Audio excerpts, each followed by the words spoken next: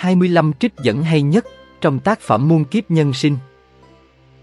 Muôn kiếp nhân sinh là tác phẩm do giáo sư John Vũ, Nguyên Phong, viết từ năm 2017 và hoàn tất đầu năm 2020, ghi lại những câu chuyện, trải nghiệm tiền kiếp kỳ lạ, từ nhiều kiếp sống, của người bạn tâm giao lâu năm, ông Thomas, một nhà kinh doanh tài chính nổi tiếng ở New York. Những câu chuyện chưa từng tiết lộ này sẽ giúp mọi người trên thế giới chiêm nghiệm, khám phá các quy luật về luật nhân quả và luân hồi của vũ trụ giữa lúc trái đất đang gặp nhiều tai ương, biến động, khủng hoảng từng ngày. Cuốn sách là một bức tranh lớn với vô vàng mảnh ghép cuộc đời, là một cuốn phim đồ sộ, sống động về những kiếp sống huyền bí, trải dài từ nền văn minh Atlantis hùng mạnh đến vương quốc Ai Cập cổ đại của các pharaoh quyền uy đến hợp chủng quốc Hoa Kỳ ngày nay. Muôn kiếp nhân sinh cung cấp cho bạn đọc kiến thức mới mẻ, vô tận của nhân loại, lần đầu được hé mở, cùng những phân tích uyên bác, tiên đoán bất ngờ về hiện tại và tương lai thế giới của những bậc hiền triết thông thái. Đời người tưởng chừng rất dài, nhưng lại trôi qua rất nhanh, sinh vượng suy tử, mong manh như sóng nước. Luật nhân quả cực kỳ chính xác, chi tiết, phức tạp, được thu thập qua nhiều đời, nhiều kiếp, liên hệ tương hỗ, đang xen chặt chẽ lẫn nhau, không ai có thể tính được tích đức này, có thể trừ được nghiệp kia không? Không ai có thể biết được khi nào nhân sẽ trổ quả. Nhưng, một khi đã gây ra nhân, thì chắc chắn sẽ gặt quả, luật nhân quả của vũ trụ, trước giờ không bao giờ sai. Luật luân hồi và nhân quả đã tạo nhân duyên để người này gặp người kia. Gặp nhau có khi là duyên, có khi là nợ, gặp nhau có lúc để trả nợ, có lúc để nối lại duyên xưa. Có biết bao việc diễn ra trong đời, tưởng chừng như là ngẫu nhiên, nhưng thật ra đã được sắp đặt từ trước. Luân hồi là một ngôi trường rộng lớn, nơi tất cả con người, tất cả sinh vật đều phải học bài học của riêng mình, cho đến khi thật hoàn thiện mới thôi. Nếu không chịu học hay chưa học được trọn vẹn, thì buộc phải học lại, chính xác theo quy luật của nhân quả. Dưới đây là 25 câu trích hay nhất, tâm đắc nhất mà muôn kiếp nhân sinh gửi đến bạn. Một khi con người ta yêu thương chân thành, không đòi hỏi hay bám víu vào một điều gì, thì đó mới là tình thương yêu thật sự. Còn khi đã lệ thuộc vào điều kiện hay vì mục đích nào đó, thì đây chỉ là sự hấp dẫn nhất thời, nếu không được đáp lại, họ ắt sẽ đau khổ. Hai, mọi sự vật trên cõi đời này đều do nhân duyên phát khởi mà thành, tất cả đều có liên quan tương hỗ lẫn nhau, nhân sinh quả, quả lại tạo nhân, lớp lớp trùng trùng, có khi dung hòa, có khi đối kháng, tương tác lẫn nhau mà sinh ra, không có một sự vật nào có thể tự tồn tại riêng rẽ cả. 3. Bất cứ một lực tác động nào cũng đều có phản lực tương ứng. Tuy nhiên, có khi phản lực xảy ra ngay, có khi nó tiềm ẩn và xảy ra vào lúc khác, có thể trong kiếp này, có thể trong kiếp sau. Cũng vậy, nếu tôi gây đau khổ cho người khác, thì tôi cũng nhận lại đau khổ mà người khác gây cho tôi. 4. Nhân quả đừng đợi thấy mới tin.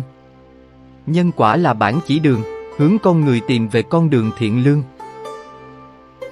5. Bất cứ một hành động nào cũng tạo ra một nhân quả, và đã có nhân, thì ắt phải có quả. Đó là quy luật vũ trụ. 6. Mọi sự vật trong vũ trụ đều có tính tương đối, nghĩa là đều vô thường, vô ngã và duyên sinh. Thời gian và không gian, tuy có tên gọi khác nhau, nhưng cùng chung một bản thể, hay vạn vật đồng nhất thể, một là tất cả, tất cả là một.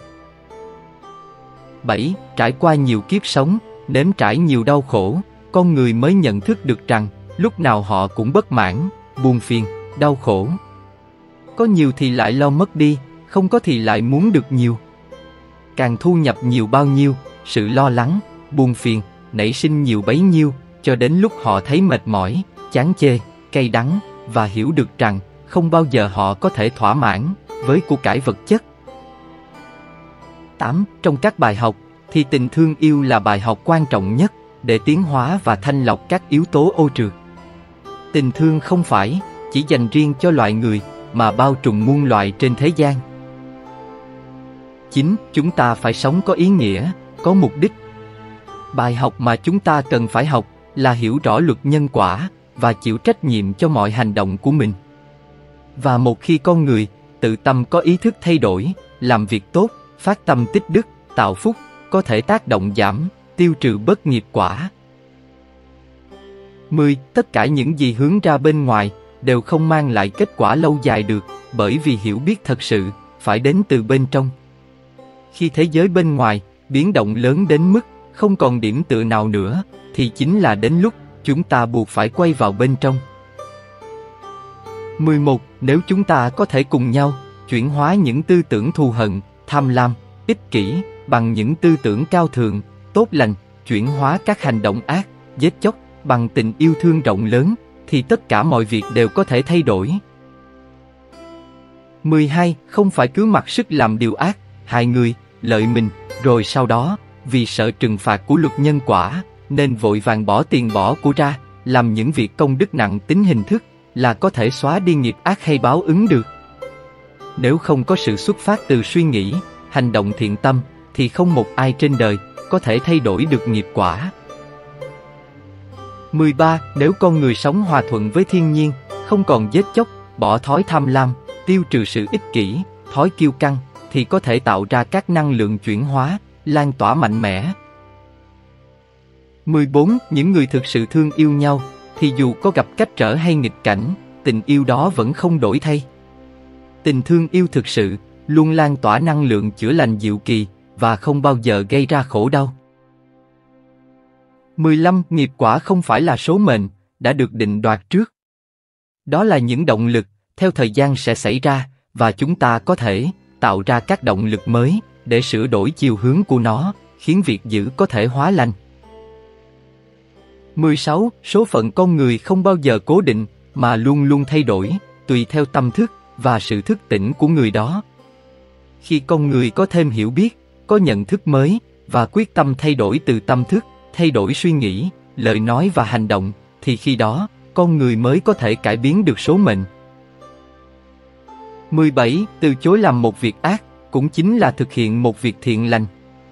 Khi con người nhận thức được cái gì là xấu, thì cũng là lúc họ biết thế nào là đẹp. 18. Sự truy cứu đến cùng của luật nhân quả đối với những hành động bất lương của con người là tất yếu sẽ xảy ra. Có những người từng uy quyền, giàu sang, nhưng giờ đã trắng tay, thậm chí có người còn rơi vào vòng lao lý. Ngẫm lại thì họ đều từng sử dụng thủ đoạn hại người, chiếm đoạt, lừa gạt nhằm mưu lợi cho mình. Luật nhân quả của vũ trụ luôn vận hành chính xác và nghiêm minh. 19. Chúng ta có thể không phải là những người hùng, nhưng chúng ta vẫn có khả năng góp phần vào công cuộc cứu lấy thế giới này. Tất cả chúng ta đều phải bắt đầu chuyển đổi tâm thức, chia sẻ, lan tỏa nhận thức mới, yêu thương, hàn gắn và chữa lành.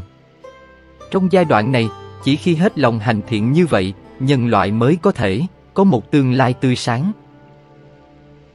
20. Con người giống như một cỗ máy, vận hành năng lượng bằng tư tưởng, lời nói và hành động. Khi suy nghĩ, nói ra điều gì, hay làm gì, ta đều phát ra một luồng năng lượng vào không gian, nó va chạm với các năng lượng khác, làm mất đi sự cân bằng vốn có. Do đó, vũ trụ tự động phản ứng ngược lại, để tái lập lại sự cân bằng. Nói một cách khác, tư tưởng, lời nói hay hành động của ta cũng đều là những năng lượng, đó là nhân gây mất cân bằng, nên sẽ gặp phản lực ngược lại, đó chính là quả. 21. Nhân quả trong vũ trụ vô cùng phức tạp. May cũng như rủi, tốt cũng như xấu, đều nối kết với nhau, được cái này thì mất cái khác. Do đó, càng ham muốn nhiều, thì người ta càng đau khổ nhiều. 22. Mỗi hành động của chúng ta đều tạo ra một năng lượng tương ứng.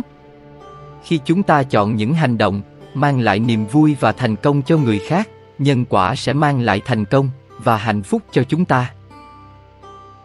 23. Chúng ta đều là phần tử của một sự sống vĩ đại, hay còn gọi là chân ngã, thuộc về một năng lượng khởi thủy uyên nguyên, được sắp đặt khéo léo bởi những định luật trong vũ trụ. Trải qua muôn vạn kiếp sống, con người đã từng lầm đường lạc lối, vì tự cho mình là thực thể riêng biệt, có tự ngã, độc lập khỏi những quy luật của vũ trụ.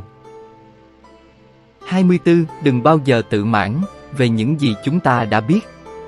Bể học mênh mông, còn vô số điều chúng ta chưa biết. Cái biết có thể che cái thấy. Do đó, ta cần tránh những thành kiến hẹp hòi, mà nên biết quan sát mọi việc, mở rộng tầm nhìn, sẵn sàng trải nghiệm, học hỏi những điều mới mẻ. 25. Vì cuộc sống chính là hành trình trải nghiệm, học hỏi không ngừng, bất tận. Mỗi một giờ khắc trôi qua, thế giới lại sản sinh ra hàng triệu điều mới mẻ. Những ai ngừng học hỏi, khám phá, sẽ đi đến sự thiếu hiểu biết, bảo thủ, định kiến, lỗi thời. Và đây cũng là câu trích khép lại nội dung ngày hôm nay của mỗi ngày một trang sách. Cảm ơn các bạn đã quan tâm, theo dõi và lắng nghe. Xin chào và hẹn gặp lại các bạn trong những nội dung tiếp theo.